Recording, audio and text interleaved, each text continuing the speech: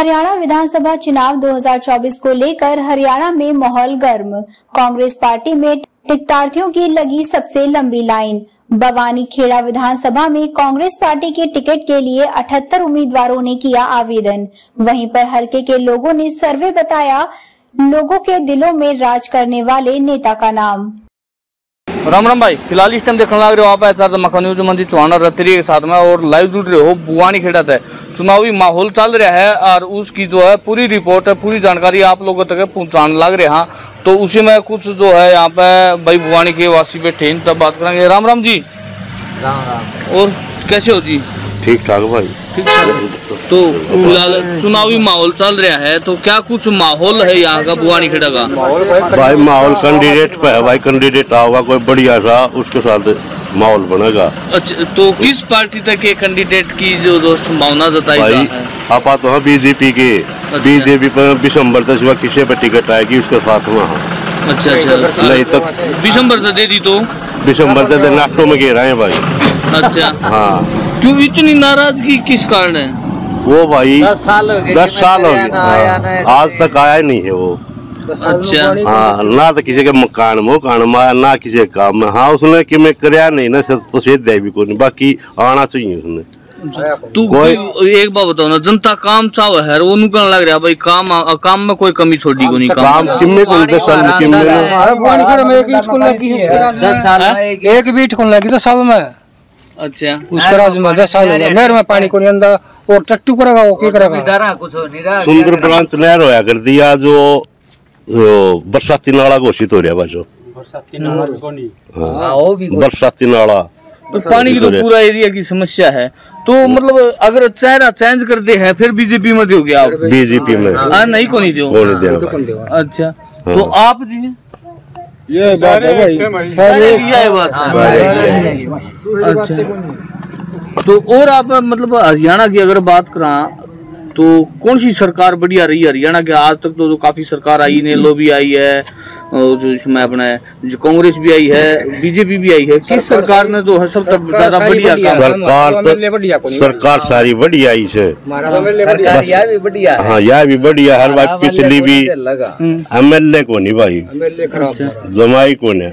और सबसे ज़्यादा विकास कार्य की अगर हम बात करें तो किस सरकार के अंदर हुई है? किस योजना के अंदर भाई सरकार में नौकरी तो भाई नौकरी खूब दी है अच्छा। और किम में करिया नहीं इसने।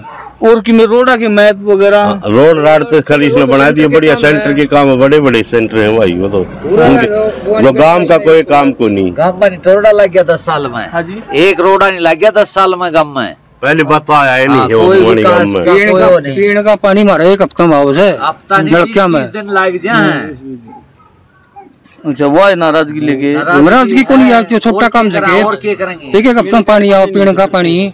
अच्छा अच्छा। अच्छा अनाज मंडी का अनाज मंडी में कोई न कोई वाक्य हो जाए भाई फ़सल नहीं बिक रही कोई व्यापारी नहीं आ रहे। दिसंबर वाल्मीकि ने मंडी आके नहीं संभाली है।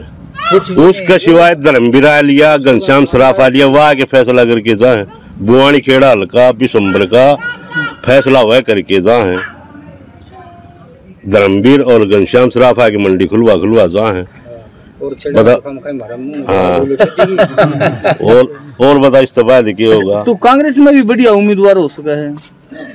कांग्रेस में कांग्रेस में हो सके फिर घोषित तो हाँ। घोषित कोई आया तो नहीं है। ये मैं डिक्लेयर होंगे जदे की मैं चर्चा हो बात पे कैंडिडेट पे भी डिपेंड है। भैया और ये बुआनी खेड़ा में नाराज़गी से छक रहे हैं लोग दिसंबर तक।